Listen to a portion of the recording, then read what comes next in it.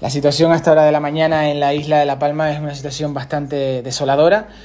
principalmente por eh, esa colada eh, de lava que avanza eh, con una altura media de en torno a los 6 metros y avanza comiéndose literalmente viviendas, infraestructuras, cultivos que va encontrando a, su camino hacia la costa del Valle de Aridane.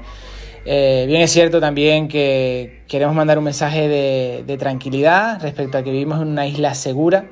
Eh, hemos podido prever, eh, gracias a la ciencia española, casi con una semana de antelación, la erupción de este volcán. han acertado casi que con un error de 300 metros, por lo tanto es un éxito dónde podría ser esta, esta erupción y bueno, eh, La Palma está vigilada con intensidad por el Instituto Geológico eh, Geográfico Nacional y también por las diferentes eh, entidades, CSIC, universidades, Involcán y bueno, el control es absoluto y por tanto eso nos da tranquilidad y seguridad. Bien, es cierto que gracias a ese trabajo previo pues ha podido, se pudo evacuar horas antes de la erupción a las personas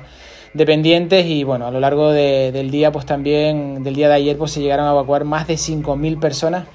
eh, por eh, la zona donde se preveía eh, que pudiera avanzar la lava y que pueda avanzar la lava. Por tanto, 100% de las personas bajo seguridad, sin lamentar daños personales y ahora lo más que nos preocupa son los daños en infraestructuras y por supuesto los proyectos de vida de las personas, que son sus sus viviendas. ¿no? Eh, tenemos que estar ahora en este momento las administraciones más cerca que nunca